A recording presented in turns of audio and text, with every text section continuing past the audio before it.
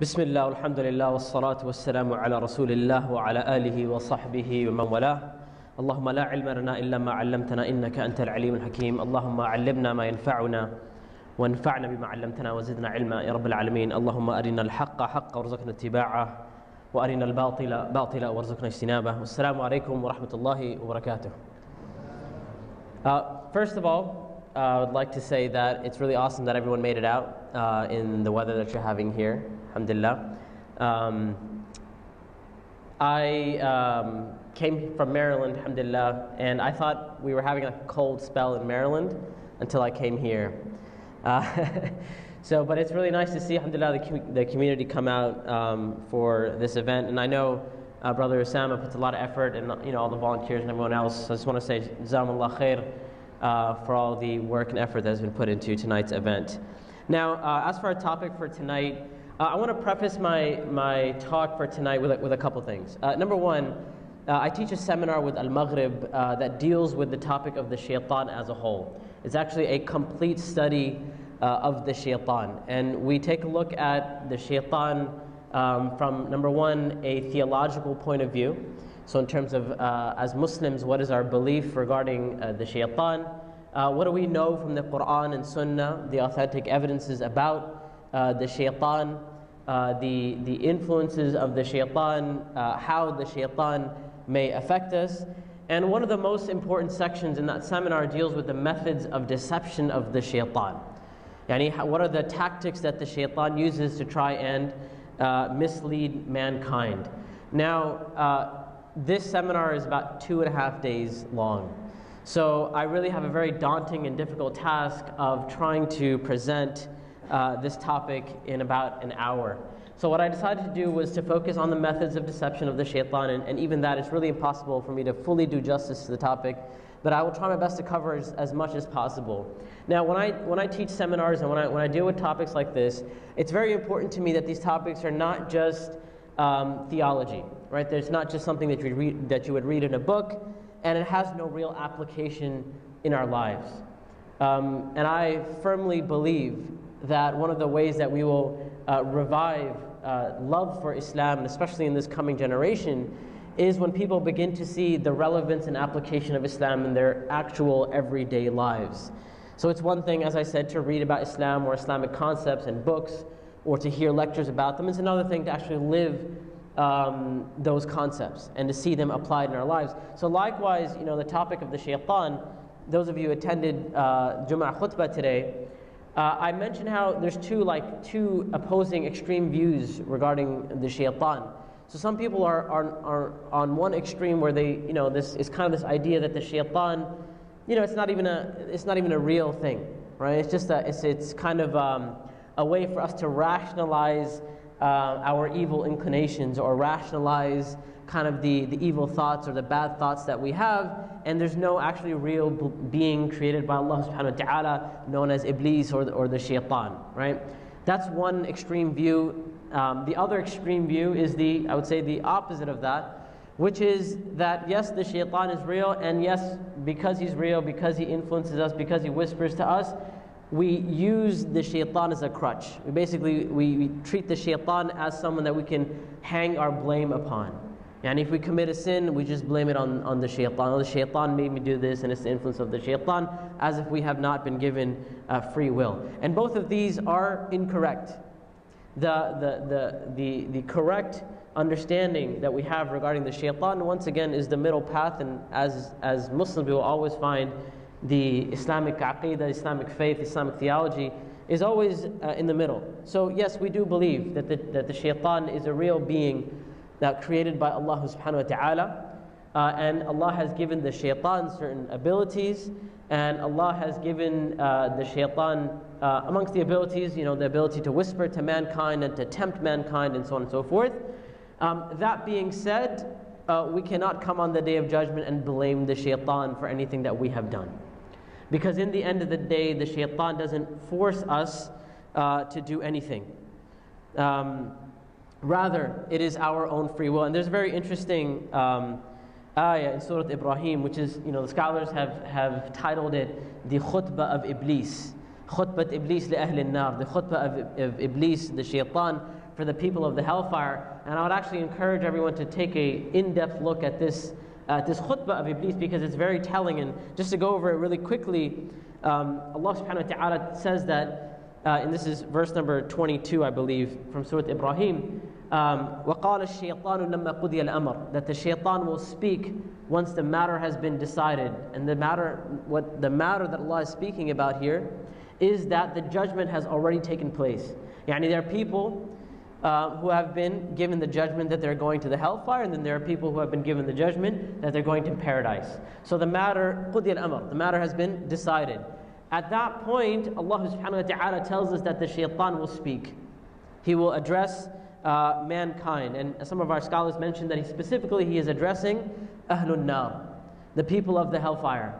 So after the judgment has been given, subhanAllah, people are gathered together and they have already been given the news they're going to the hellfire, there's no turning back, khalas, you know.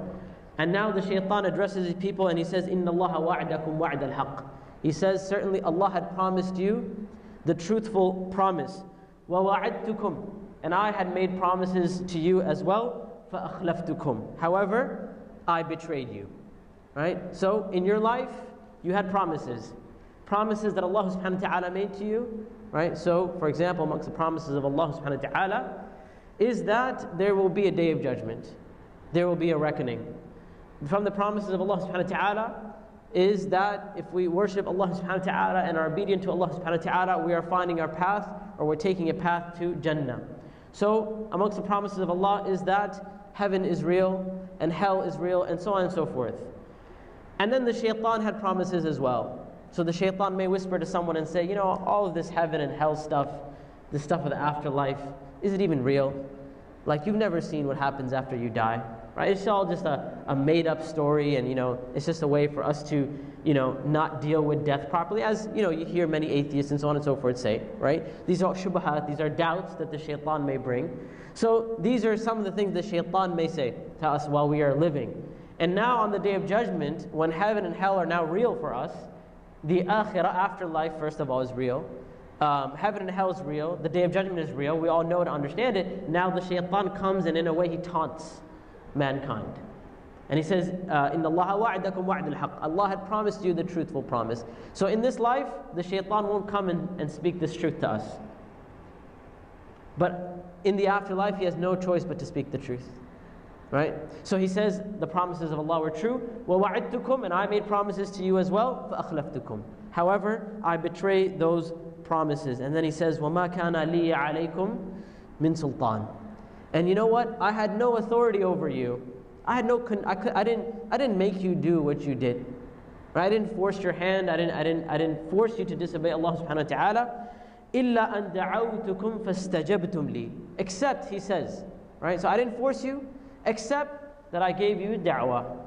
Right? I called you, I invited you. And what did you do? فَاسْتَجَبْتُمْ لِي And you answered my call. And you know, the, the scholars of language talk about the letter fa here. And fa is immediacy. Right? So he doesn't say, what istajabtum li, meaning there's some time in the middle. I, I called you, and you thought about it and whatever and you took your time. No, he says, فَاسْتَجَبْتُمْ لِي Meaning, immediately. I, gave, I tempted you, I whispered to you, and immediately you, you answered and uh, you, rep- you responded to this uh, temptation. And then he says, فَلَا تَلُومُونِي So don't blame me. Right?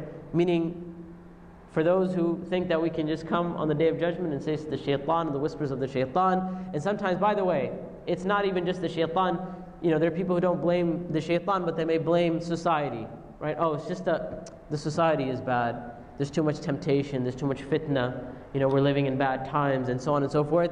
As if to say, I have no control. It's just this is the circumstances we're in. Sometimes we blame our parents. We blame our household, and without a doubt, right? The, the parties who take part, and those who take part in that, and if our parents didn't do a good job teaching us right from wrong, that is between them and Allah subhanahu wa ta'ala, and that's something that they will have to answer for. And yes, parents do have a great influence on their children, but we cannot come and say it was all my parents' fault.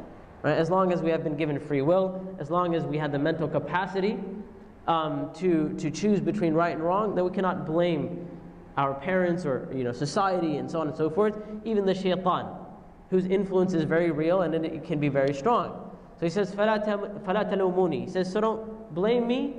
If you're going to blame anyone, وَلُومُوا أَنفُسَكُمْ Blame yourselves. Right? And this shows us, uh, you know, our scholars talk about how this is one of the evidences of the fact that Allah subhanahu wa ta'ala has given us free will. That we are not forced, you know, there's some people who believe that Allah uh, forces us to, because Allah has decreed everything, that it means that we are forced to, to do what we do, right? We have no free will. And you know, Ahlul Sunnah, this is not our belief. Our belief is that yes, everything is decreed by Allah subhanahu wa ta'ala, and also Allah has given us the will, the free will to choose. Yes, everything happens by the will and the permission of Allah subhanahu wa ta'ala, and Allah has knowledge of everything before it happens without a doubt. And everything happens by the permission of Allah, by the will of Allah, but we are given the free will. If we weren't given the free will to choose and to decide, then how, why and how could we be held accountable for that which we do? Right? So this is one of the evidence. So the shaitan says, وَلُومُوا أَنفُسَكُمْ Blame, uh, uh, فَلَا تَلُومُونِي وَلُومُوا أَنفُسَكُمْ That do not blame me, uh, blame yourselves. And then he says, ما أنا ما أنا بمصرخكم وما أنتم بمصرخي. So he says, I cannot be, I cannot, you know, the word musrikh, by the way, comes from the, the, the, the root uh, saraha, which um, sarikh. Does anyone know what a sarikh is? What is a sarikh? Or saraha, what does that mean? To scream, right? To yell, to shout. And the reason why this, or one of the reasons why this word is used here, is that you know the the the, uh, the scholars of tafsir they say that the people are now screaming. You know, the people who are headed to the hellfire, they're, they're screaming, meaning they're, they're now very upset because the shaitan is coming now. He's, he said, can't blame me, right? This is all you. You cannot put it on me. I didn't force you to do anything. I just invited you, you answered my call, and now people, and there's no turning back now. Because al-amr, the matter has been decided. Right? There's no, once the, the judgment is given, so and so, and so is going to the hellfire, khalas, the matter is decided. And people know and understand this. And now they see the source, some people who they thought this is the source of their problems, the shaitan, Iblis comes, and now Iblis says, I can't help you. Right? Ma ana bimusrikhikum wa ma antum bimusrikhi. I cannot help you, and nor can you help me. Right? People are yelling and they're screaming, help us, help us. And to, to really show how, um, how weak the shaitan is, and to show, and there's another point to be made here, is that the, it's not like the shaitan tempts us and he whispers to us and he himself he's going to paradise. No. The shaitan knows, Iblis knows he's going to the hellfire. But his goal is to drag as many people from Bani Adam with him as possible. Right? That's, that's, that's his goal. Right? That he knows he's going to the hellfire. And this is, you know, the, the story of, of, of Iblis and the, and the shaitan, he knows he's already destined to the hellfire. And now his goal is to take as many people with him uh, as possible. So he says, وَمَا أَنْتُمْ بِمُسْرِخِي He says, nor can you uh, help me. إِنِّي كَفَرْتُ بِمَا أَشْرَكْتُمُونِي مِنْ قَبْلِ He says, I deny any association that you made with me before. Meaning you associated me with Allah. You listened to me instead of listening to Allah. You obeyed me instead of obeying Allah. I have nothing to do with that. And by the way, this is one of the common tactics of the shaitan to bring people to the edge of their destruction and then say, I have nothing to do with you.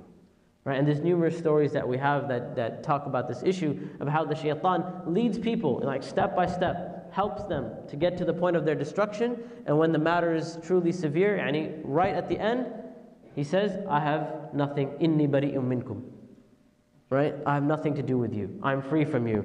And then he says, Inna lahum adabun alim. He says, certainly those transgressors, the transgressors, the wrongdoers, they will have a painful punishment. And subhanAllah, the word that he uses is also very interesting, dhalim. You know, people who are listening to this, the people who are headed to the hellfire, many of them they will say, dhalim, ana dhalim, right? I'm the dhalim, I'm an oppressor. People will say, I remember who the oppressors were. So and so who oppressed so and so right? The leader of so and so country, I don't want to name names, right? But the leader of so and so country and this, and he killed so many people and he oppressed so many. I wasn't a dhalim. I didn't oppress anyone. Until people realized that the dhulm that is being spoken about here is the dhulm that we do to ourselves by disobeying Allah subhanahu wa ta'ala. Right? The dhulm that we do to ourselves, dhalimun li nafsi. Right? The dhulm, the, how we oppress ourselves by listening and obeying the shaitan instead of obeying Allah subhanahu wa ta'ala. So, in general, you know, and I wish I could spend a lot more time on the khutbah of Iblis, Uh, but this, there's so many lessons to be learned from the khutbah of Iblis. But what this does teach us, for the purpose of our session tonight, is our understanding of the shaitan. That he has tactics, he has methods that he uses to uh, get us to disobey Allah subhanahu wa ta'ala, but, but that doesn't mean that we can blame the shaitan. It doesn't mean we can come on the day of judgment and say that it was his fault and so on and so forth.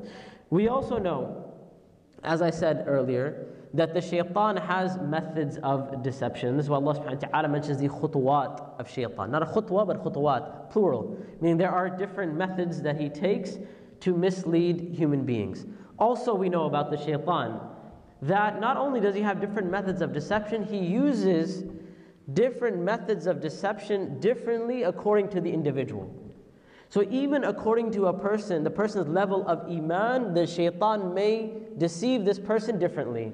So, the way the shaitan will deceive, for example, a scholar, is not like how the shaitan will try to deceive a layman. He will use different tactics based off of the individual. Right? There's a very interesting discussion that Ibn al-Qayyim rahimahullah ta'ala has regarding major sins, the kaba'ir. And he, he, poses, he, he, puts a, a, he mentions this, this one point where he says the main party that the shaitan tries, like the work he works the hardest against when it comes to major sins, is which party? Does anyone know? Muslims, non Muslims, who? Scholars. Very good right? And we would think, scholars, right? That's a waste of time. Because how many scholars is he going to, going to mislead? What is the point of that? And by the way, the shaitan, eh, one of his strategies is, you know, I usually say he tries to get the most bang for his buck, right? The most amount of people that he can mislead, the most he can do with the least amount of work, right? So we, if we would think, I mean, why would the shaitan bother with scholars when it comes to, to, to uh, scholars and people in positions of leadership and so on and so forth? Why would he bother with them when it comes to major sins? Number one, it's a lot of work because this person has knowledge of the deen and so on and so forth. And, and, and number two, it's going to be very difficult. But if you look at what the shaitan gains out of that, you realize why he works so hard on the people of knowledge and people of positions of leadership. One of the things is that imagine if the shaitan misleads one scholar, right? What is going to happen? Well, the scholar, the the person in a position, position of leadership, they're not by themselves. They have hundreds, if not thousands, if not hundreds of thousands of people who follow them and look up to them and so on and so forth. Right? So the average person now, he looks at the scholar and he says, Oh, this scholar con- uh, committed a kabira, they committed a major sin. What hope do we have? Right? If this scholar can fall into this sin, then we're just laymen. We're not scholars and so on. What hope do we have for ourselves? And how many people, hundreds, thousands, can possibly lose hope?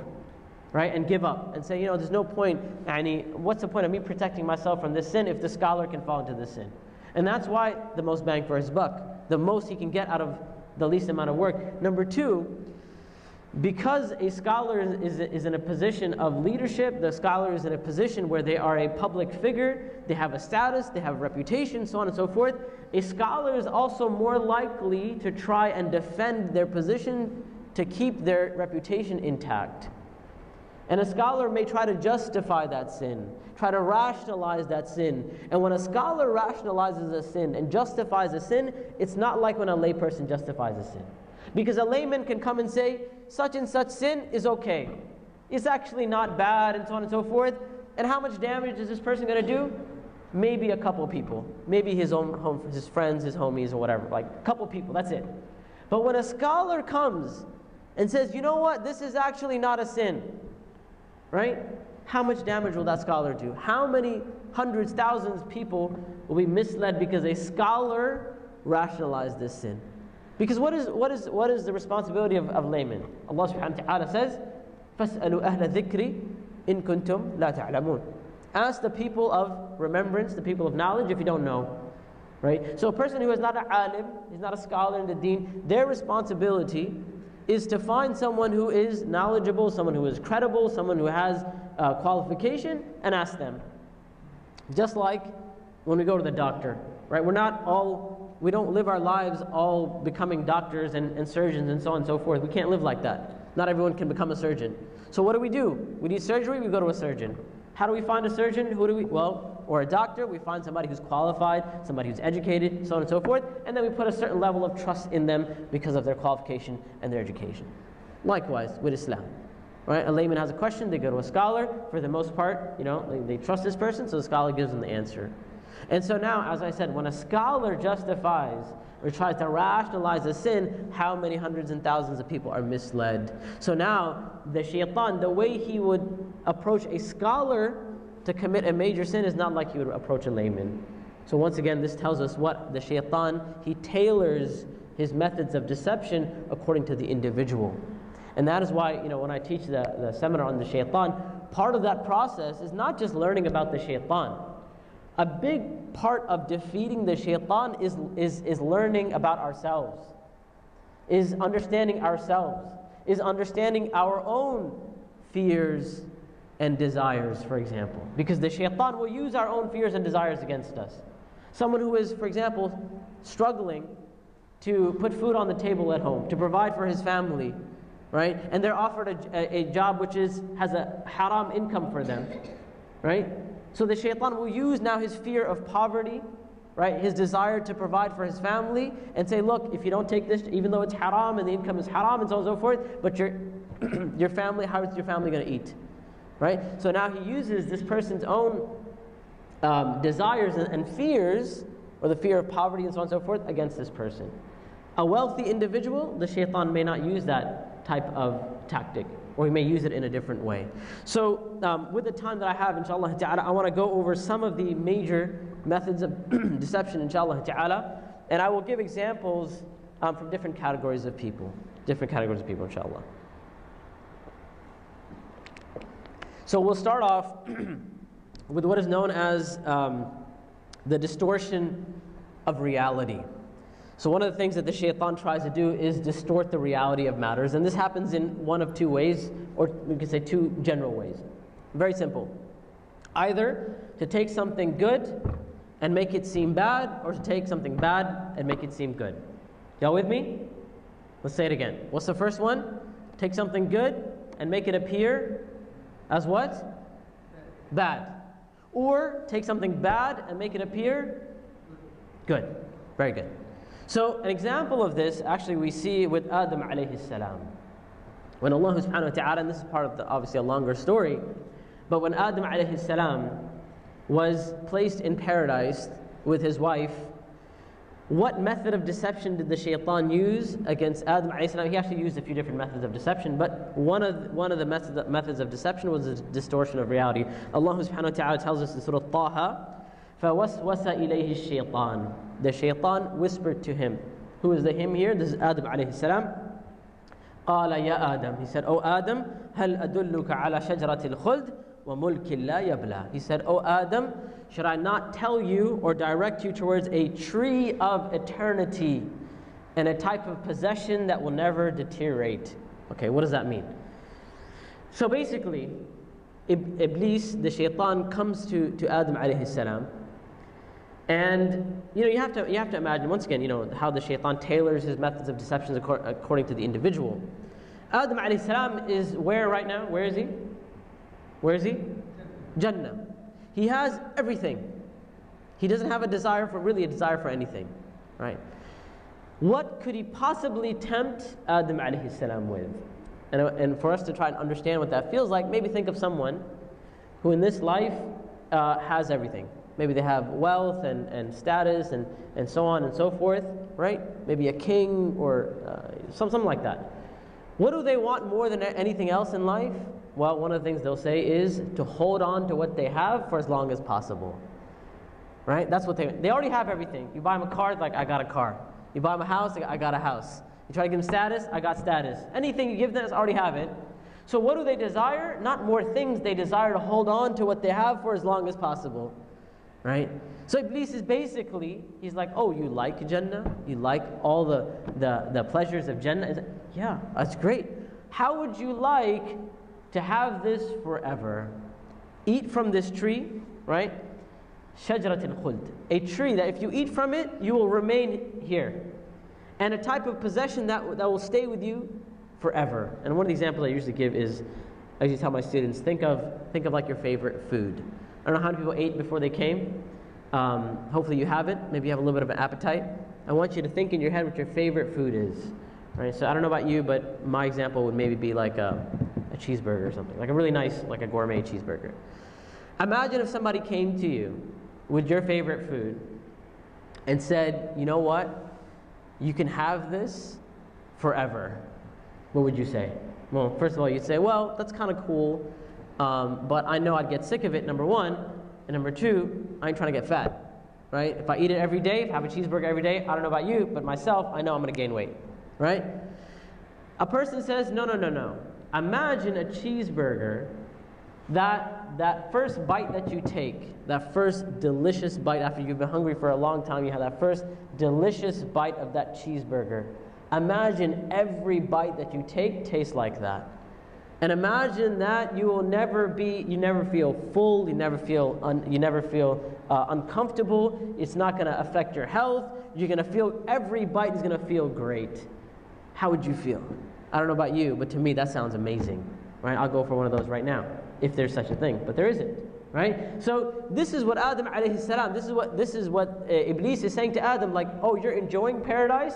How about you hold on to it forever? And this is one of the ways he tried to entice Adam alayhi salam. The reality of this tree is what? The reality of the fruit of this tree is what? It's a sin. Right? The one thing that he was instructed not to approach, not to eat from. But the shaitan didn't come and say, hey, come eat from this tree because you know what? It's the disobedience of Allah subhanahu wa ta'ala. Come eat from this tree and you know you will be able to disobey Allah because he knows that if he presented the reality of the matter to, the, to, to Adam alayhi salam, he would say never. So what does he do? He distorts the reality of that matter. Right? Likewise for us, I mean, I want you to think about how many things we have in our lives that if we know the reality of the matter, we know they're not good for us. We know they're bad. But in that moment, whether it's instant gratification or whatever you want to call it, or however you want to classify it, it, it appeals to us. You take, it the, take a look at the very aspect of zina, right? Sex outside of marriage. The reality of the matter is, if you were to take a look at all of the problems that come upon a society and upon families and communities because of zina, it would never make sense that people would commit zina. I just have to say one thing, and it should set everybody straight, and that is STDs. STDs are a reality, right? And, you know, that's a very real danger. And it should be that we should say to the, this generation, or any generation can fall victim to, you know, the temptations of, of, you know, zina. But we should be able to say to someone, look, you could get an STD. So because of that, how about you don't do it? And ideally, we should be like, that's enough of a deterrent, right? But is it? Is it a deterrent? For some people, yes, but for a lot of people, it's not, right?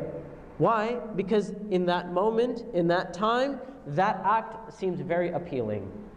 Right? And that instant gratification that a person gets or that pleasure the person gets in that moment, it kind of nullifies even facts that people know about the problem. Right? Smoking. Many people start smoking at a, at a young age, or, or, it used to be like that. Now it's more people have started vaping at a, at a younger age. But back when I was growing up, a lot of people, I, I went to public school, right? I didn't go to Islamic school, whatever. Uh, I had friends and whatever. People started smoking in high school. And I remember how it was, right?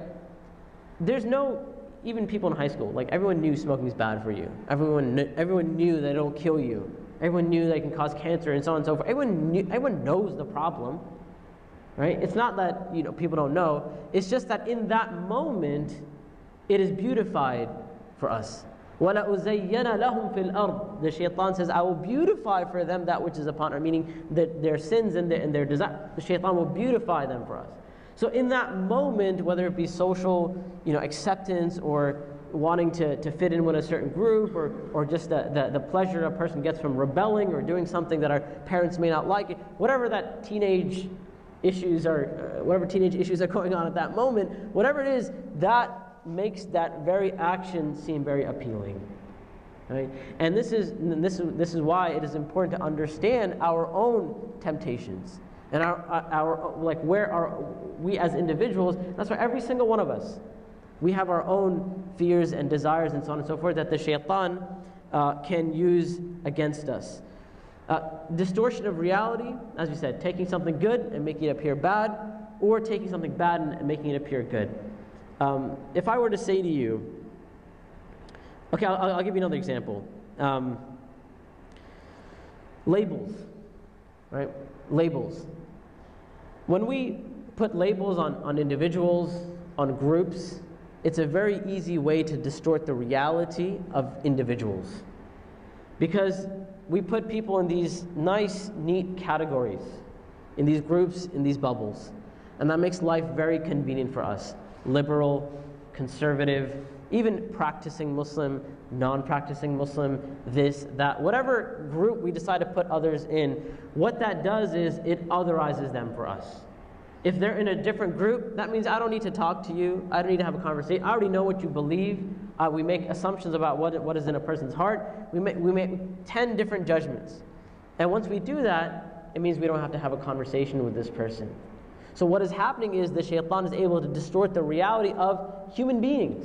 You know, today in the khutbah I spoke about even an, an Islamophobe. An Islamophobe is still a human being. Islamophobe, an Islamophobe, how many Islamophobes have not only changed the way they think, but have actually accepted Islam? Right? It seems like every other day we have a new story of someone who's like, yeah, I used to hate Muslims, and now I'm actually Muslim. Right? But imagine that no one gave da'wah to that person. No one spoke to them as a, as a human. We just viewed them as, oh, this is our enemy. This is somebody who hates us. We never want to talk to them. We never want to have a conversation with them. Right? Distorting the, the, the reality uh, of matters. And wallahi, there's a lot to be said um, in this category, but I want to get through as many categories as possible, inshallah ta'ala. Hopefully in the Q&A we can get to some more examples um, of this uh, as well. Okay, so the second uh, method of deception that I want to uh, speak about is extremism. Extremism. Ibn al-Qayyim rahimahullah ta'ala, he says Allah never orders anything except that the shaitan takes two contradictory stances towards it. Yani that when Allah orders something, the shaitan is happy as long as we fall into one of two camps. Either shortcoming and negligence or overzealousness and exaggeration. Anything but the middle path. Right? So the shaitan will say either leave it, be negligent, be do nothing, or do it too much. And that's why oftentimes when we think of extremism, we only think of one side of extremism. We think about going to, doing too much, going too far, right? And that's only one side of extremism. And you know, the example I usually give uh, is even something as simple as taking a shower. Uh, if you meet someone and they say, you know, I take uh, 12 showers a day, how would we react? Right? Would we consider that to be extreme? Yes or no? Yes. I don't know about here, you know, in this area, but definitely on the East Coast, right? 12 showers, we would say, yeah, that's, that's extreme. Now, let's say you meet another brother who says, yeah, you know, here in the Chicago area or whatever, it's super cold, so I just shower once in the winter and in the summer, I take one shower as well. How would we react to that? Will we consider that to be extreme? Yes. It's just the other end of the spectrum. Right? So the, the shaitan, he is happy with us, and that's why this is a very powerful tactic, because oftentimes extremism leads to extremism. People don't go from one, normally, people don't go from one extreme to the middle path. You know, they go from one extreme to the other extreme. How many times have we seen um, someone, and you know, many people have gone through this uh, scenario, but uh, someone who either uh, is new to Islam, they, you know, they come to Islam when they start practicing Islam at a certain point in their life, and they're like 100%, right? And they go all out right? Alhamdulillah, which is good. And that's normal, by the way, because, you know, we're flooded with iman and, you know, our, our faith is very strong. And we want to do everything 100%, 100% of the time. We want to be the perfect Muslim. And we just, we're just going at it 100%, right? 120%. And then there comes a point where it becomes too much. A person can't handle it, right? It's just they overload their life. And from that point, in many occasions, they're not like, okay, I need to slow down a little bit, right? Get back to my basics. Maybe just stick to the fara'id for now, the obligatory matters, right? And build upon that. No. sometimes from that extreme, going that far, the shaitan says, you know what? This is too much for you. Maybe this is not for you. Maybe people were right when they said this is just a phase. Right? Maybe this is, is just too, this, this whole you know, Islam thing or practice, it wasn't meant for you. This whole religion thing wasn't meant for you. And so he entices people to go from that extreme to the other extreme. People just completely leave everything. Right? So one extreme uh, to the other uh, extreme. Um, once again, the, the other matter, uh, I'll give another example in this category um, khushu' in our prayer. We have this idea sometimes, um, and the shaitan sometimes tries to convince us that either you, you have a perfect prayer or there's no point in praying, right? That either you, um, you have a prayer where you're focused 100%, and you know, many of our fuqaha mention that khushu' you know, uh, presence of mind and heart is from the, condi- from, from the requirements of our prayer. So if you're not concentrate, if you're not, if you don't have khushu', then your prayer is not valid, right? So the shaitan will come and say, look, how many times in your salah were you thinking about other things? How many times, actually, how much of your salah did you actually concentrate? 10%? 5%? What is the point of this type of salah? Right? And so it's either all or nothing. And the reality is, is that just like our faith, just like our iman, no one's salah is perfect. There's not a single human being who is 100% focused 100% of the time. And if it's that or nothing, then everybody would be at nothing. Even the people with the highest levels of iman. You look, you know, you think of your scholars and so on and so forth. Even they have prayers where they get distracted or they think of other things. But the shaitan won't tell you this. He'll make you believe that, you know, because you're not perfect, there's something wrong with you. There's something wrong with your faith. And because of that, people leave their salah. Right? I'll give you another example, which is, you know, a person who prays two prayers a day, right? We're required to pray five prayers a day. But the shaitan, well, even a person who prays two prayers a day, the shaitan will come to them and say, You're only praying two prayers, you're supposed to pray five, what is the point? And a person will leave even the two prayers that they're praying. Right? Likewise, you know, I was talking about khushu'. Khushu', by the way, even the fuqaha, when they, when they give the definition of khushu', khushu' doesn't mean that you're concentrating 100% of the time. Khushu' means that when we are distracted, we make an effort to reconnect our heart to the salah. That's what khushu' is. Meaning, as long as we're struggling, it means we have khushu' in the prayer. But if we stop struggling, we stop trying, that means that we've lost khushu'. Right? We're like, oh, I don't care. Whatever my prayer is, it is, whatever. I don't, we don't, I don't even make an effort. Then that's, that's problematic. Right? Khushu' means, yes, I'm praying. Okay, I get distracted. I, I struggle, you know, I, I, I, I struggle to, to, to reconnect my heart. Even that, that, that constant struggle in our prayer, that means that we are, we are making an effort to, um, to, to have khushu' in our prayer. And inshallah ta'ala, that is something which is uh, considered khushu'. Uh, I had. Um,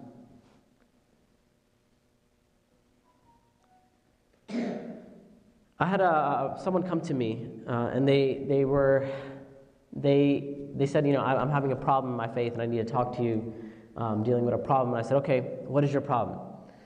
And um, they said that, um, you know, I recently started practicing Islam. I, uh, you know, I come, my, my family is, is, Muslim and so on and so forth, but, you know, I led like a sinful life or whatever. I wasn't practicing Islam. And now I have started practicing Islam but now I'm overwhelmed with the feeling um, that Allah will not uh, accept my Islam from me. Right? That Allah will not accept my prayer because of all of my previous sins.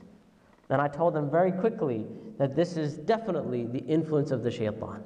That this is what the shaitan wants you to, to, to, to, to feel so you lose hope in Allah subhanahu wa ta'ala right? That, that you have to feel that you are either a perfect Muslim at all times in your life or there's no point of, of even trying, right? The reality is, and as I, as I told this brother, every single human being commits sins. Right? Every single individual has, has lapses in their iman, in their faith, they make, they make mistakes, so on and, and so forth. If, if that was the case that you know, we didn't commit sins, then there, there would be no point of, of, a, of a reckoning, there would be no point of a struggle in this life. You know, Allah subhanahu wa ta'ala uh, didn't create us to be perfect. Allah has another makhluk which is perfect, which doesn't sin, which obeys Allah subhanahu wa ta'ala 100% of the time. Who are they? The angels. right? And actually, we have the hadith um, of Hanzala radiallahu an, who Hanzala, you know, it's a, a well known story. He's, he's saying one day about himself, Nafaqa Hanzala, Nafaqa Hanzala. Hanzala is a hypocrite, Hanzala is a hypocrite, or Hanzala committed hypocrisy. And you know, they, uh, the companions ask him, like, why are you calling yourself a hypocrite? He says, because when I'm with the Prophet I feel my iman like very strong. He says, I can envision heaven and hell in front of me. And that, that's a way for him to say, like, it's my, my faith is so strong, it's as if I can see heaven and hell in front of me. Yani how strong would our iman be if we could actually envision heaven and hell, right? He says, however, when I go home, I get busy with my family and my business and my children and so on and so forth, and my iman isn't the same right? And some other companions say, well, we have that feeling as well. So, so they go to the Prophet ﷺ and Hanzala explains his situation to the Prophet ﷺ, and the Prophet ﷺ says, Oh Hanzala, if you were to be in that state at all times, meaning if you have that high iman, 100% of the time, he said the angels would descend from the heavens and they would come shake your hand, even if you're laying in your bed. Because you're no longer a human being at this point if you think that your iman is always going to be at 100%. He said, وَلَكِنْ سَاعَةً وَسَاعَةً. He said, rather an hour and an hour, or, or a time and a time. And there's some times when your iman is going to be high, there's some time where your iman is going to be low. Right? That's just the nature of our iman. That's why we try our best to maximize in the things that will keep our iman high. Number three, uh, procrastination and laziness. The Prophet ﷺ, uh, in the mention of Sahih Bukhari, Prophet said that when we sleep, uh, the shaitan ties three knots at the back of our head, and with each of them he breathes the following words. He says, The night is long, so keep on sleeping. Prophet said, If the person wakes up, وَذَكَرَ Allah, if he remembers Allah, one knot is undone. If they make wudu, the second knot is undone. And if they pray, then all three knots are undone, and they get up lively and in good spirits. Otherwise, they get up in low spirits and being lazy. Now, this hadith is such an amazing hadith because I think many of us have actually lived this hadith. And it's the following The day on which you get up and pray, pray Fajr has a very different feeling than the day on which we don't pray Fajr. I think many people have experienced this that just the fact that we got up in the morning and we prayed Fajr can change the trajectory of our day. Right? So one of the lessons we learn from this hadith is that one of the goals of the shaitan, one of his methods of deception, is to get us to procrastinate and to be lazy. And we can take this a little bit on a macro level as well. Some people procrastinate even with their spirituality, even with their faith.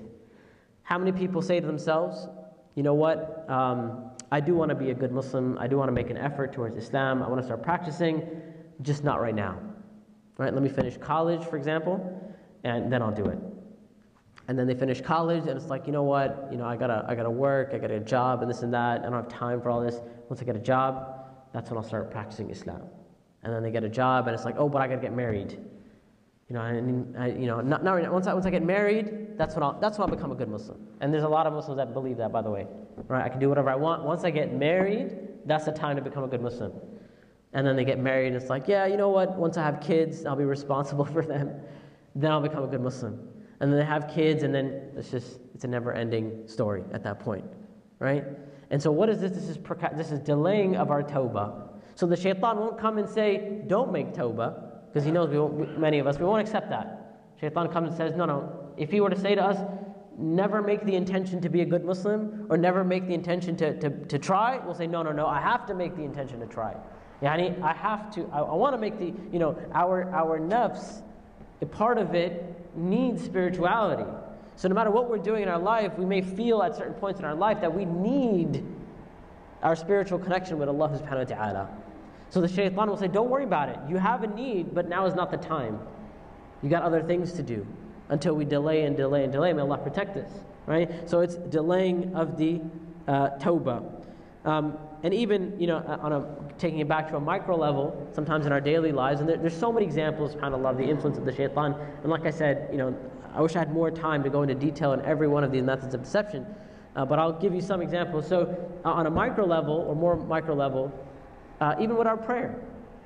So the shaitan may come, he may, he may, he may not say, don't pray, right? Because maybe as a practicing Muslim, we won't accept that. He'll just be like, just wait a little bit right? You got things to do, whatever, just, just wait. and then we delay, delay, delay, delay, delay until there's almost no time left. And then we either pray quickly and then we're not remembering Allah subhanahu wa ta'ala. Said the person prays and the person doesn't ma Allah illa qalila. You know, the person barely remembered Allah when they were like pecking basically up and down, up and down, just getting the getting the salah done. Right? So that's the approach that Shaitan would take. You know, just delay, delay, delay, and even um, you know, similar to this, to this method of, of deception, um, is the the other end of this, which is hastiness. Um, uh, the Prophet ﷺ said, and this, by the way, there's khilaf on this hadith, so I just want to preface that. But the hadith mentioned in Tirmidhi, al-ajala min shaitan Some scholars consider it to be uh, strong, and other scholars consider it to be weak. Uh, على كل حال, many of our uh, muhaddithun did consider this hadith to be authentic. Uh, al-ajala min shaitan but uh, our scholars do agree that this concept is correct. That sometimes uh, the shaitan, uh, he, he makes us hasten, right? So, likewise, going back to the example of the prayer, right, we may, the shaitan won't say, don't pray, he'll say, just hurry up, because you got things to do. So, I usually give the example of somebody who, um, like a college student, they have a final the next day, and they only have a, you know, a limited amount of time to study.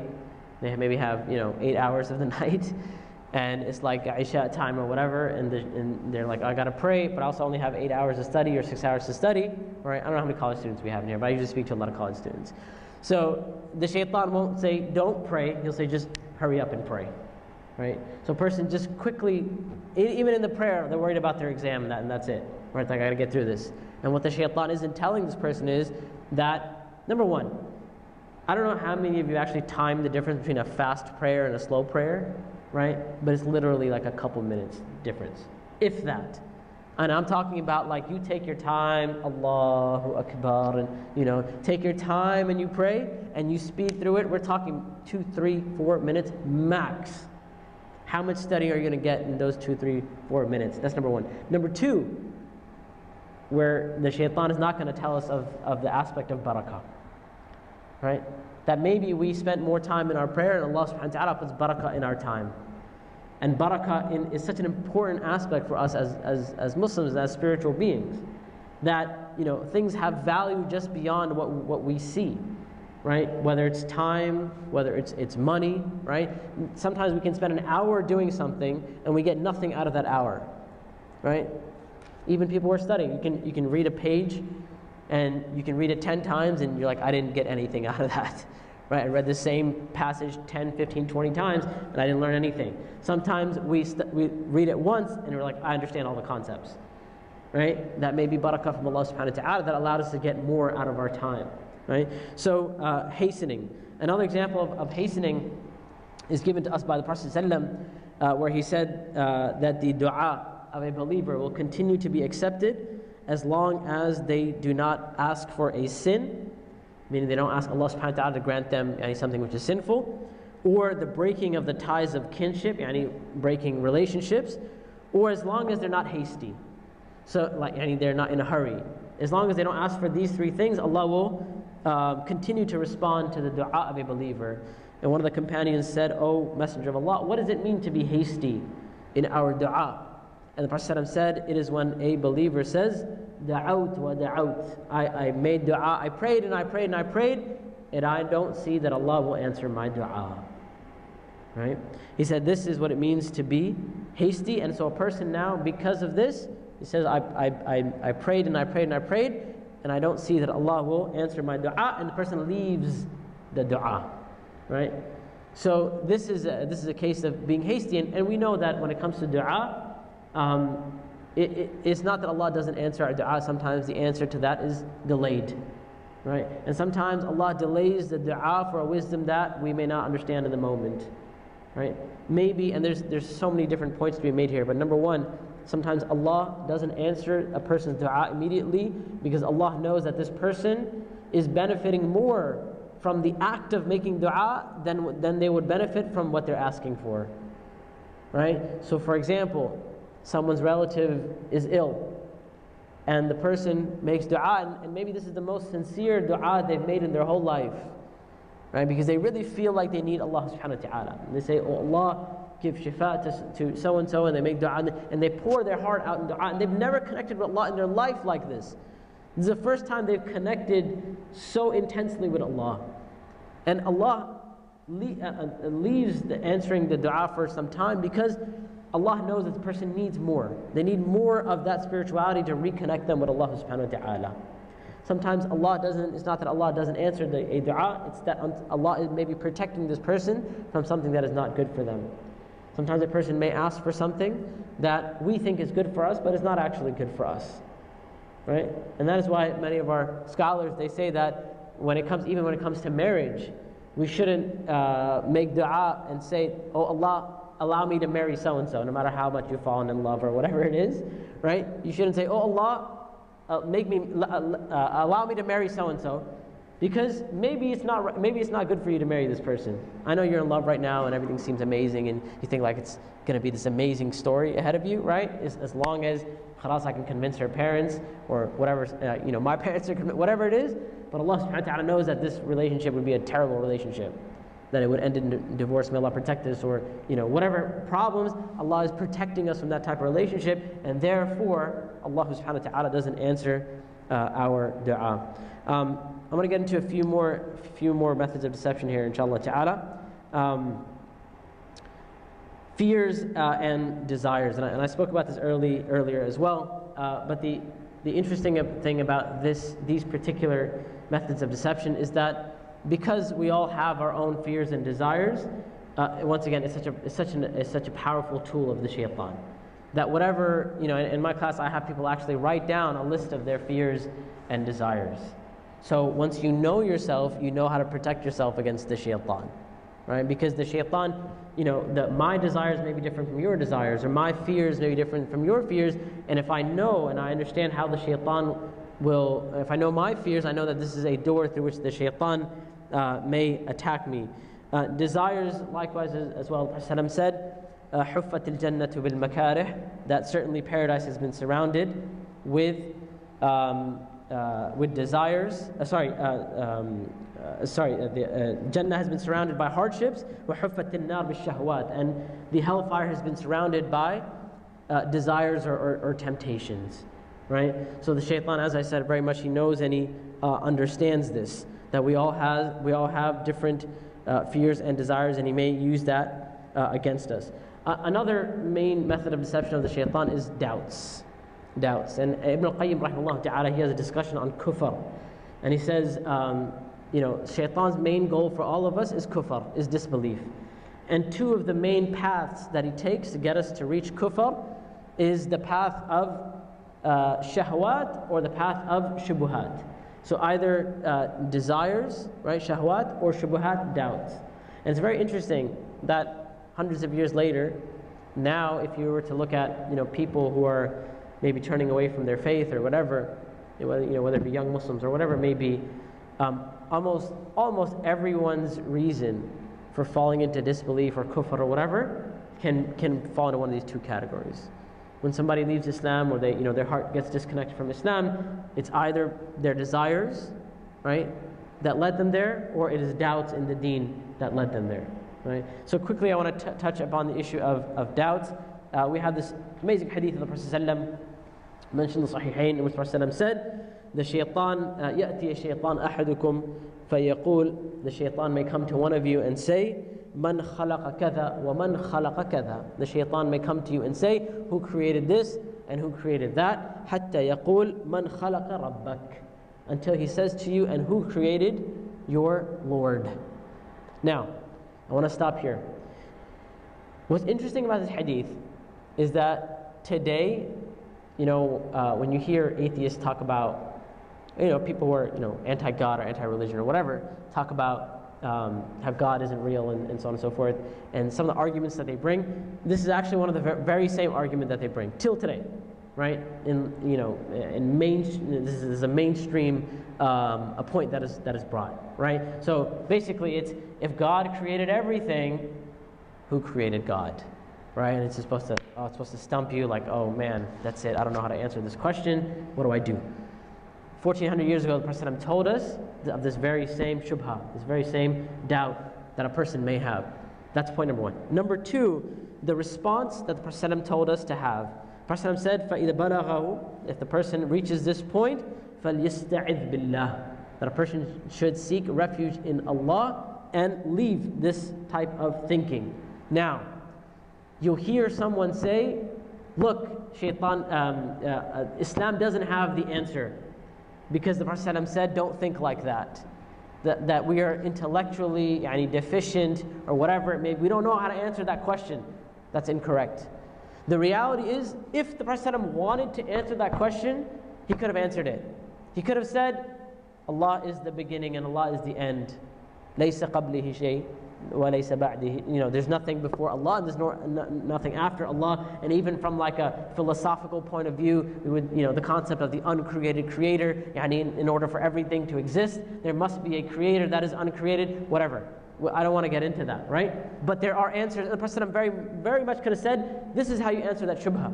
But what the Prophet is teaching us here is more valuable than the answer to one doubt. What is it? He is teaching us وسلم, that we're not always going to have an answer to every single doubt. But just because we don't have an answer, it doesn't mean that an answer doesn't exist. Right? And sometimes people value their intellect to such a high level that they come to this point like, if I don't have an answer, it must mean that there is no answer. Right? And we, we, under, we, you know, we, we, we forget that we really know so very little. Right? For until recently, most of the world believed that the world was flat. And even till today, subhanAllah, there are people that believe the world are flat, flat earthers. You know about them? Yeah? People today, right?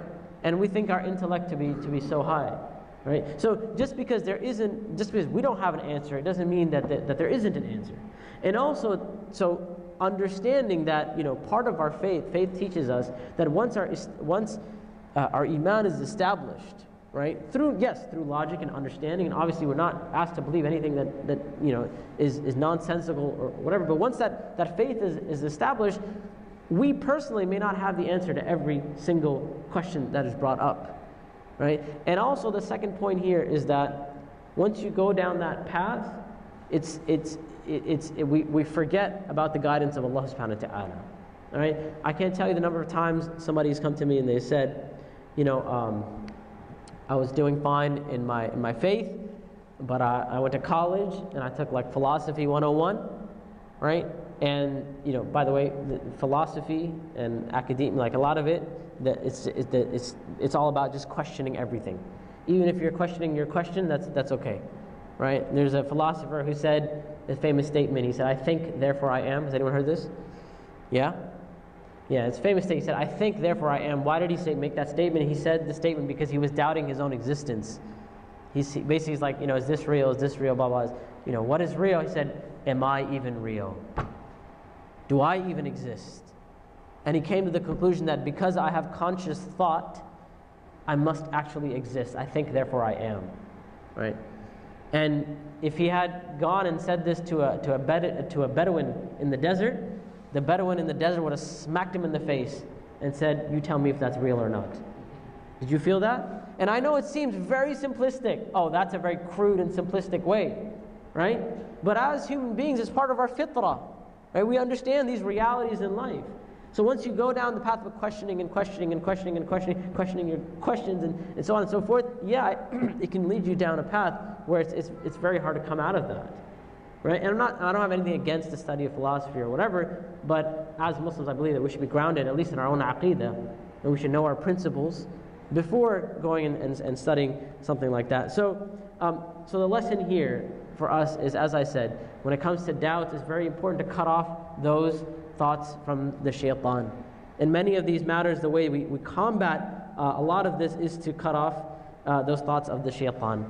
Uh, last two, two methods of deception that I mentioned, even though I have a lot more, um, but I think this one is important. That is the khutuwat of shaitan. Allah subhanahu wa ta'ala says, Ya ayyuhalladhina amanu, la tattabi'u khutuwat shaitan. Uh, oh, those of you who believe, do not follow the footsteps of the shaitan. Um, and this shows us once again the shaitan has footsteps. He has methods of uh, deception. So I just want to give you one like um, hypothetical but a, a very real example. Uh, of the khutawat of the shaitan. So, as I mentioned in the beginning of this talk, the way the shaitan tries to mislead one person is not like how he would try to mislead another person. So, let's say there's a brother who is um, a practicing Muslim. Um, you know, person avoids major sins for the most part, uh, as best as a person can. Uh, they've been raised in a, in a religious, practicing household.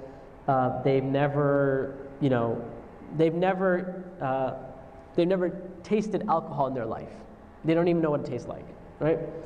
Now this person goes to college, and they go to college, and this, you know, practicing brother, you know, prays five times a day, so on and so forth, try to follow their deen, and the shaitan comes to this guy who's, who's you know, practicing religious, and he says to him, Hey, go have a drink.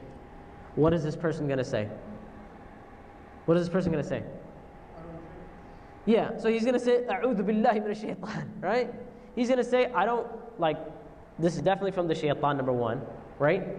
Because I don't drink, I don't even have a desire to drink. He's never tasted alcohol. He doesn't, he doesn't even know, like, he's like, I don't know what is even the temptation of, of alcohol. Never tasted it, right? Has no desire for this sin. So obviously the shaitan won't do that because it's, a, it's, a, it's, a, it's, it's not a strong strategy. What will the shaitan do? Well, one of the things that he may do is he may say, okay, you see these, these guys in your, in your university or college, they're Muslim but they don't practice Islam. How about you go give them da'wah? Go teach them about Islam. And the person says, okay, you know, that sounds like, that's, that sounds good, that sounds good. That's a good thing to do, right? So he goes and he starts, you know, talking to them about Islam, but he doesn't get much, he doesn't get a response from them. So the shaitan says, look, you can't just go and preach to them, right? You have to hang out with them, you have to spend time with them, you have to be friends, you have to, you know, and then obviously you give da'wah through your character, right? And the person thinks, he says, you know what, That's, that sounds good to me. That you know, that's fair enough, right? That's not, that's not bad. So he, he starts to spend more time with them, he starts to hang out with them. Um, you know, they watch a couple movies and this and that. And slowly but surely, what happens? He starts to enjoy spending time with them, right? And they become like really tight, right? And they go to movies and whatever stuff. Pretty, pretty cool. Until one day, you know, after months and months and months and months, um, his friends come to him and say, "Hey, we're going, we're going to the club tonight." right? Why don't you come with us? And his initial, his instinct is to say no, right? He's, he's actually never been clubbing. He doesn't know what it's like, whatever. And the shaitan says, look, these people are, you know, they're your friends, and look how much positive influence you've had on them. You know, none, none of them ever thought about praying before, but now a couple of them have started praying. Do you really want to cut off that relationship with them? Just go, but don't, don't drink. Don't, you just stay away. But just show them that, that you're cool, just like them, you know? You can hang out, you can be a normal Muslim, and you know, you don't have to take part in the sin. Just go hang out. So he says, you know, that sounds good to me. The person goes, he goes clubbing for the first time. And what happens at the club? Well, this person's never been clubbing never been in an environment like that. So he's just like stays at the side, at the, at the, at the wall, right? It's, it's like an awkward type of situation. It's just weird for him and he's not truly comfortable until from the corner of his eye, he sees a girl that he's immediately attracted to right? And he's heard about the concept of like love at first sight, and now he's like, is this is that what people talk about? Like love, like I feel love at first sight. And you know what? He looks at her a little bit, and you know nothing happens. And then his friends are like, all right, let's go home. We're, you know, we're done for the night, whatever. He says, okay, let's go. Nothing happens. The next weekend comes around. And what happens the next weekend? His friends say, you want to go clubbing? And he's like, yes. Because he's hoping that he's going to see her, right? Like he's like falling in love, head over heels, right? Love at first sight. So now he's just hoping just to see her. So he goes, he goes to the club, whatever, he, and you know she's there, and he sees her, and to his surprise, she approaches him, and she says, "Hey, I noticed you looking at me, and I saw you here last week, or whatever. Like, what's your deal?" And he's like, "No, no, I just, you know, she, you, you, you know, you look cool. Tell me about yourself." And they start talking, right? And they start talking a little bit, and then his friends come and say, It's time to go home. And he's like, Okay, I gotta go. And he goes. And now the third weekend comes around, and they don't even say anything. And he goes, Yo, you trying to go clubbing this week? Are you trying to go? And they're like, Yeah, we were thinking about going, but he's like, No, no, we gotta go. right? to, to get down, right? So they go clubbing for the third time. And now he approaches her and he starts talking and this and that. And he's never really talked to a girl before, right? He's never felt what it's like to have someone be interested in him. And now this girl, like she's interested in him and so on and so forth. And like he just feels, it's amazing, right? He feels like he's in love and that the love is just amazing. And now, you know, she's like, I'm headed over to, to the bar. Like, are you coming? He says, Yeah, of course. And she goes and, and, and she orders a drink. And she says, Are you getting something? And now, he's never had alcohol, he's never tasted alcohol, but he's like madly in love. And he's like, Man, a girl like that, interested in me, like I never thought that would happen. Right? So now that she's interested in me, what if I what if I say no, like, oh, I don't drink or whatever? Right? I'm not, you know, and I, I lose her. Khalas, this is the love of my life. And so he decides to order his first drink. And there at the bar, he has his first drink, first sip of alcohol. Right? And now what, what happened? Was this an overnight, was this an immediate process? No. This is the khutawat of the shaitan. Right? Like it's a step by step by step process that led this person eventually to commit a sin. And you know why the strategy is so brilliant? Because the shaitan needs to do a, a, certain amount of work, and then at some point, the shaitan can allow the nafs to take over. Because we know, by the way, our desire for sins, our inclination towards sins, can come from a few different places. Sometimes they're from the shaitan, mean, the shaitan says, Look how nice this sin is, or whatever, or why don't you try this, or whatever. Sometimes it's our own nafs. Inna nafsa la ammaratun bisu. The nafs commands one to do evil. When does that happen? Well, when we ourselves we desire a sin. So initially, this dude had his first sip of alcohol. He's like, this tastes nasty. But then he has some more, he has some more, he starts to enjoy it. And at some point, he enjoys it so much that the person enjoys it for himself. The shaitan says, I take a back seat. I got, I'm good. You take over. Your nafs can take over now. Now the person's own nafs is taken over, and the person may, may Allah even lead to addiction and, and so on and so forth. And by the way, another example of this is pornography. I'm not going to get into pornography. I should talk about it in my seminar because I feel like it's a very real problem and we, need, we do need to have this discussion because a lot of young people are addicted to pornography. And, but it's a, it's a longer discussion, but also, you know, speaking of pornography, that is a step-by-step process as well, right? Um, and, and that, that culture as a whole. May Allah subhanahu wa ta'ala protect us. Uh, lastly, I want to I wanna mention this, this last method of deception. And as I said, there are, there are quite a few more, and I wish I had more time to go over uh, all of these. Uh, but probably the most severe and the most powerful method of deception of the shaitan uh, is, a, is a loss of hope. Is a loss of hope. The, the,